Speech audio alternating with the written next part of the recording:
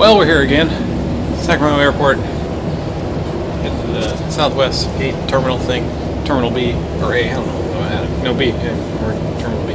It's a new one, very shiny. Going to Phoenix this time. It's much warmer. Colorado. Last one I went to, but let's have fun.